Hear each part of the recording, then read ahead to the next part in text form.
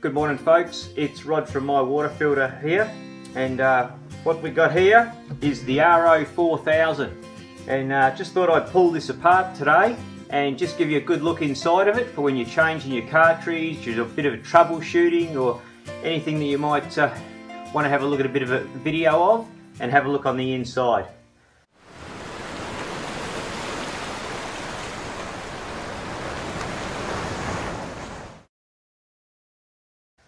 So as you can see, this is the RO4000 with the USA alkalizer.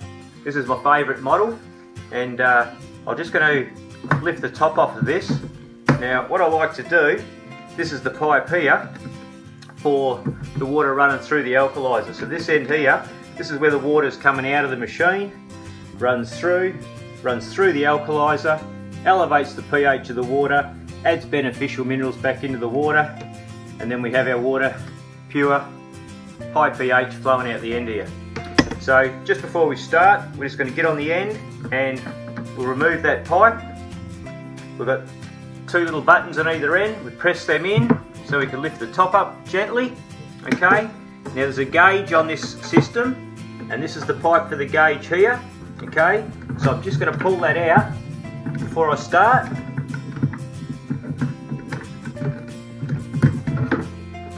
Okay, and we're just going to sit that off to the side like so. And there's the system here. I'll just give you a quick look in there what I disconnected. As you can see, there's our pressure gauge, the side, the pipe, and that pipe presses into the membrane here, and so we can check the pressure on the gauge.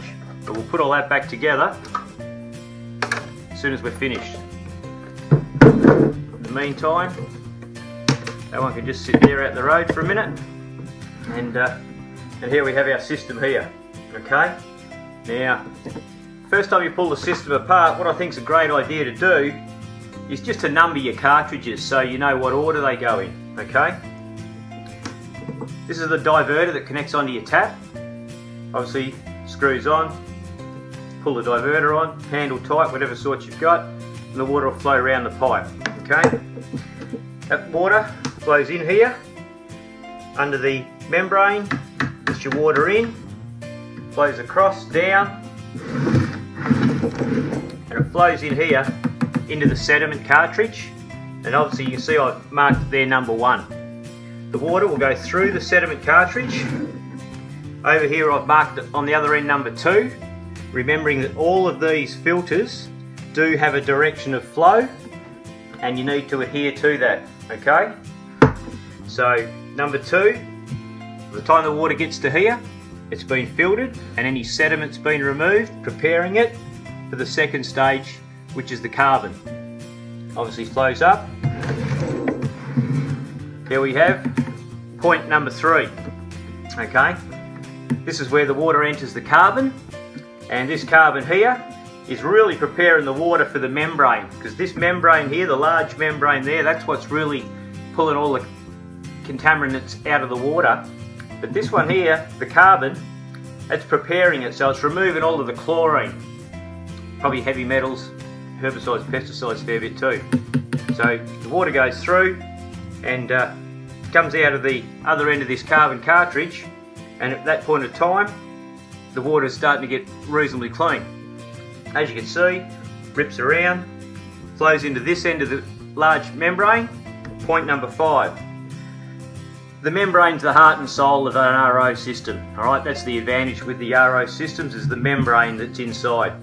So as the water flows through the membrane, come up to the top end. I showed you earlier, and I just put a G on there for gauge. Alright. And then over on the start, we were here at point number five. So the water flows through the system. It comes up here, and you can see the black hose there. Now that black hose is the waste water. Obviously with the reverse osmosis system, we got pure water being created and all of the contaminants flow out with the waste water and go down the drain. That's the black pipe here. Goes through there. This one here, it's a flow regulator. If you can just see that little hole halfway in that flow regulator, that takes an Allen key and you can adjust the flow if it's not operating as you would like it okay, i.e. increase it or decrease it just by the turn of the Allen key inside there. The water then, wastewater, continues along its path, comes over to here and flows out the black tube. Obviously we never drink the black tube, straight down the sink, waste water. Put it on plants, if you've got a good hardy plant, no worries at all. Okay? Once the wastewater's gone, we're back here at point six and we've got the good water coming out of the membrane. Okay?